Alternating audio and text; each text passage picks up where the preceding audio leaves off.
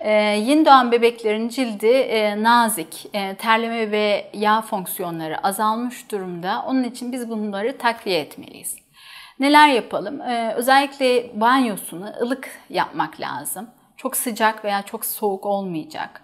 Ee, ve derisinin pH'sına uygun, deri asitlik derecesine uygun bizim Sindet adı verdiğimiz özel temizleyicilerle yıkamakta fayda var.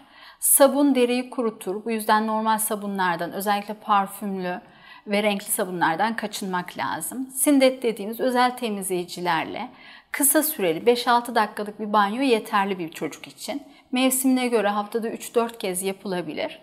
5-6 dakikalık bir banyodan sonra da derinin mutlaka nemlendirilmesi gerekiyor. Nemlendirmede kullanacağımız emolyen ajanlar da özellikle paraben içermesin, renk, koku içermesin ki alerji yapmasın. Bunlar da e, bebeğe yavaş yavaş e, sıcak bir ortamda yani ılık bir ortamda yavaş yavaş masaj yaparak sürülmesi lazım.